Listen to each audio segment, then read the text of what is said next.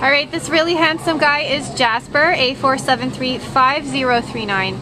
And Jasper is a two-year-old black with a little bit of white on his chest, lab retriever mix, who arrived here at the Baldwin Park shelter as a stray from La Puente on July 17th. And uh, Jasper walked pretty well on a leash, right? Pretty, pretty decent. Pretty nice on a leash. Yes. And um, he is has been pretty non-reactive to other dogs. Yeah, he doesn't seem to. You know, he's not interested in other dogs really. Right. Non-reactive. Non-reactive, and if introducing him to another dog, he probably just needs a proper, you know, Proper slow introduction. introduction. Um, and uh, this this guy is just really handsome and a nice dog.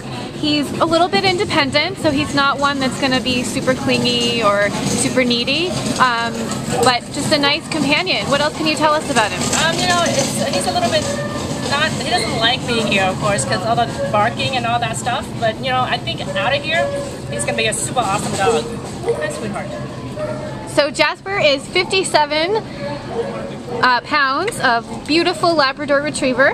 Uh, so please come meet him here at the Baldwin Park Shelter.